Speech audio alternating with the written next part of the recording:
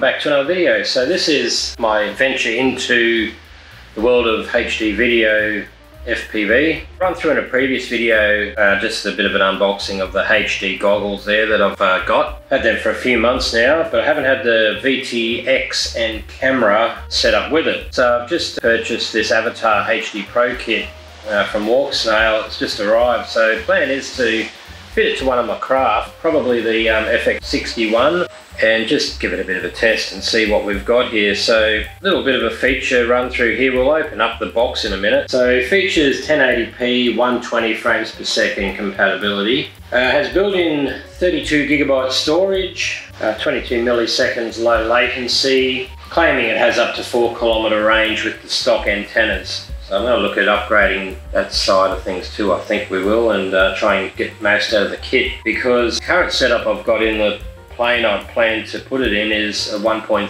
gigahertz system and it's flying pretty good at the moment with decent range. Bit reluctant to sort of sacrifice that, but I mean it's HD footage, so times are changing, this is where we're going. So the camera also has a good field of view of 160 degrees. It also supports 6 to 25 volts of power.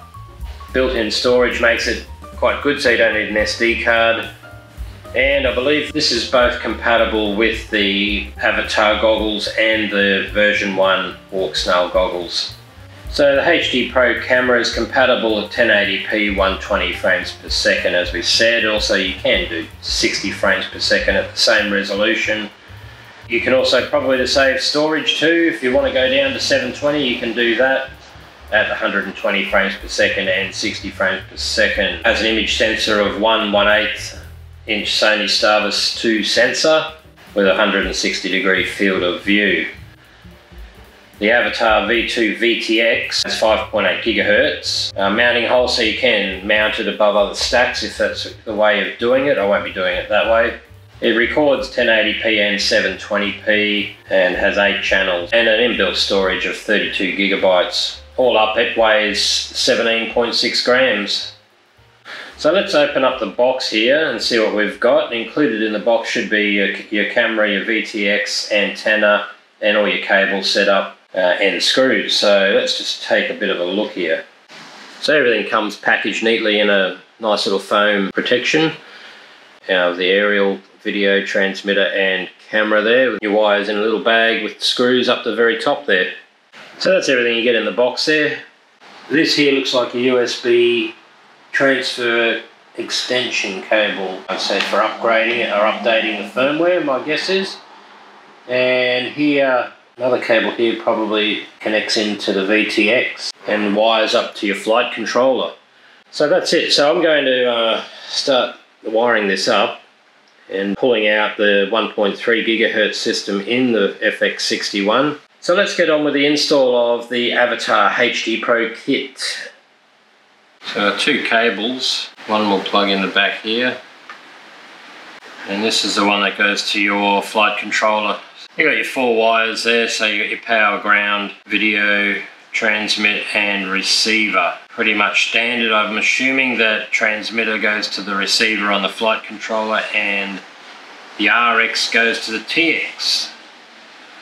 So what I might do is just have a look at the SpeedyBee F405 wing, that's the flight controller in the FX61, and we'll just see how that recommends the HD setup to be wired up in that. I'm, I'm pretty sure that's just a plug. So I should be able to just solder on the plug to this end of this cable here and mount it, and it should be all good to go.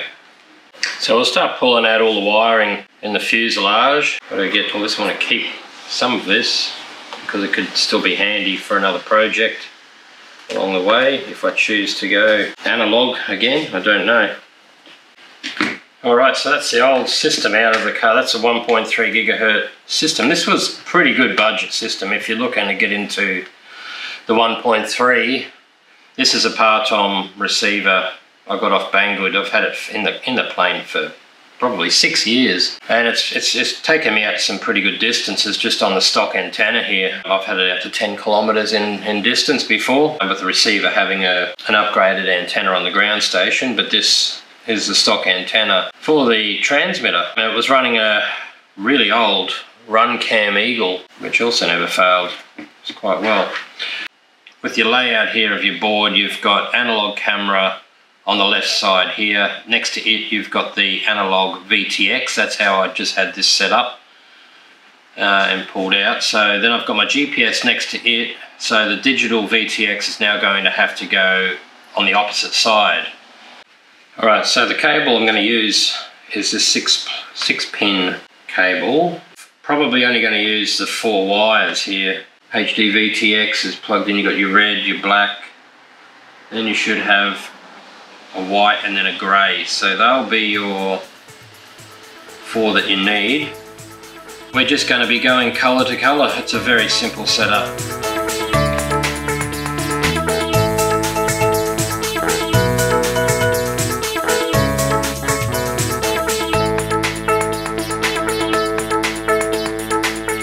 Alright, so to get the antenna on, that's what you've got to do. You've got to take off the, the little plate here, push it on, I'm not sure why they did it that way, but I guess the plate is also going to hold the antenna securely on. It's not going to pop off, which is a good thing.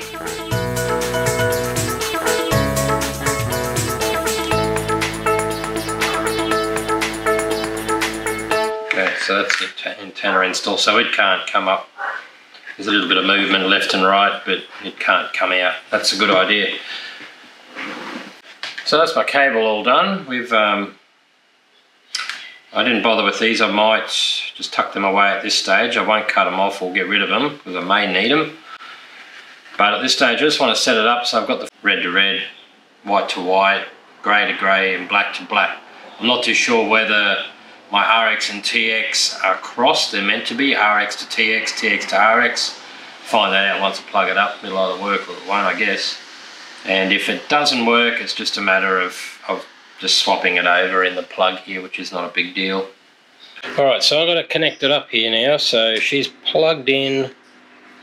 Have a bit of a look here. I've got it plugged into the back here, very back corner here where the DJI port is. And I'm going to mount it just here like this. And my camera's going to go here. Excuse all the tape, guys. It's a pretty messy, but that's how it is. It's an old plane, this one, and when she's old, she still runs. VTX is going in there. Aerial will just pop up somewhere in here like that. So next I want to install the latest firmware from the Caddx FPV site. I'm on the, on the Caddx FPV web page here, the download uh, page. Firmware avatar, so I've downloaded the latest firmware on the goggles, not the beta, I've got the stable version, 37.242.3. Uh, avatar system update procedure, avatar system firmware update record. We'll check out this one. Okay, avatar goggles update procedure. This is the goggles, so that's I'm not going to worry about. I've done that. Uh, avatar H D transmitter update procedure. Important, ensure to use a fully charged battery to power the Avatar kit during an update.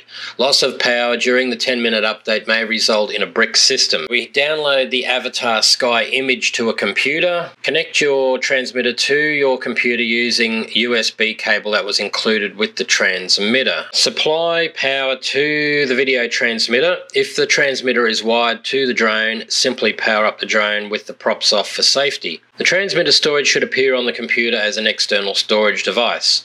Put the Avatar Sky image onto the transmitter storage. Disconnect the transmitter from your computer. The LED on the transmitter should begin blinking green. Push and hold the link button on the back of the transmitter for 8 seconds. The LED on the transmitter will turn off, indicating the start of the update process. During the update, the LED on the transmitter will blink red. When the update is complete, the LED will blink green. Now, it's probably fairly important as well to make sure both your goggles and the transmitter are on the same firmware. You're not going to have one on one firmware, one on the other, because that's just asking for uh, issues. It is, so keep them on the same firmware. Okay, so to download the latest firmware, we, we click on the latest firmware that's available. Now I've downloaded the Avatar 37.42.3 stable version. That's on my goggles. Keep them the same. Obviously, this is what is current at the time of recording of this video. So download the same firmware that's on your goggles. So I'll click download. Download anyway, it's 191 megabytes, it's a pretty big file.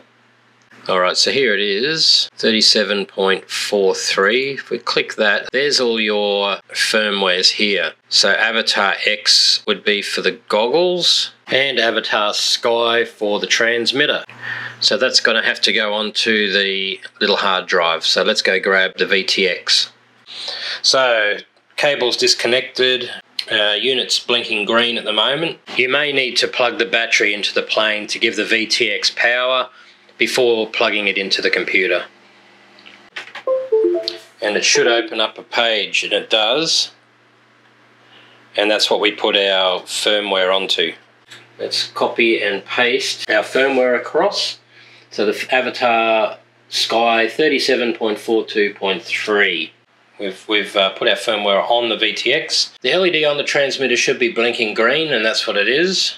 Push and hold the link button on the back of the transmitter for 8 seconds. The LED on the transmitter will turn off, indicating the start of the update process.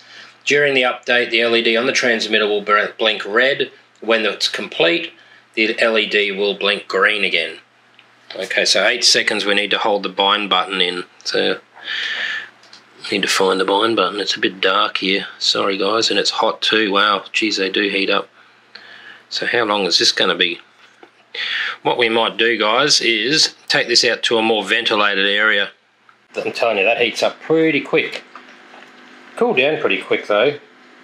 But it was heating up pretty quick. So, yeah, try and keep that in mind. That's why you need to have it in a, in a nice ventilated spot in the plane. I'm going to make a... I've got a few holes here anyway, so it should be pretty keep pretty cool there. Alright, let's plug it in and hit the bind button for 8 seconds and see what happens. It's flashing green which is what we want. Let's hold it down for 8 seconds.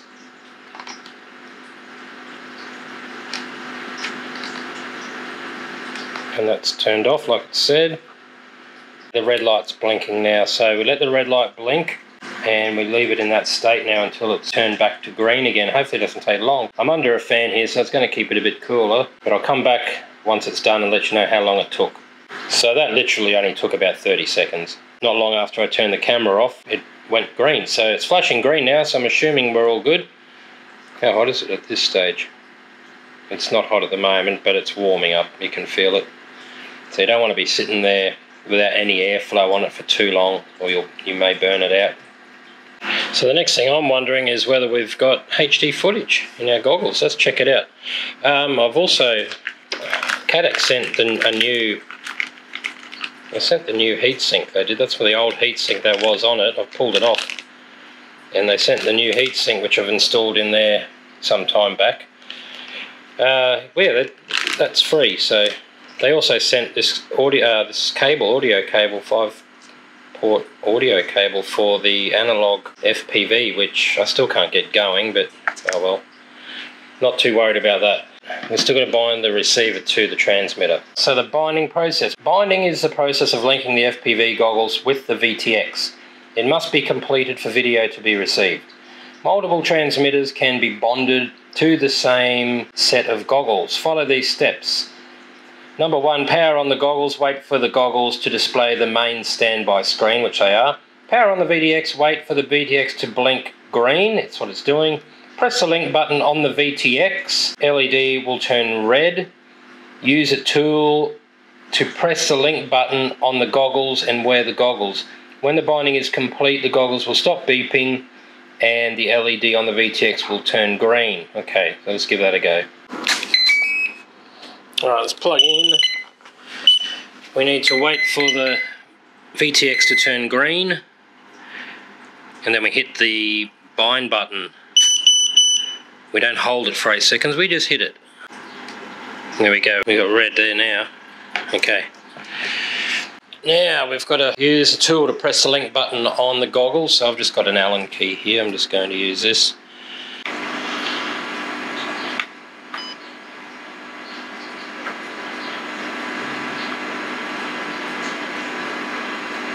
I think we've got it. Let's just stick my head in there so I can have a look. We're bound guys, that's good. So that's how it's done. I can't really show you anything else in there I don't think other than what's there. So we'll come back a bit later so we're bound up. VTX over here is green, yes, so that's changed, that's what it's meant to do, it's solid green and it's not overly hot at the moment. Okay, let's go to the next step. Alright, so we're back at the computer. Let's um, have a look. So we said before UART 5 is our digital VTX and analog VTX on the SpeedyBee F405 wing. So what we need to do now is go into iNav. Okay, here we are in iNav. Let's just connect up. So what we need to do now is go into our ports tab. We go to UART 5 and let's go over under the peripherals here. We open the drop box down and select DJI FPV VTX. I believe it's the only one I can think of. And we'll save and reboot. Sorry guys, that was that wasn't entirely correct. So I've ended up changing it on my peripherals in my UART 5.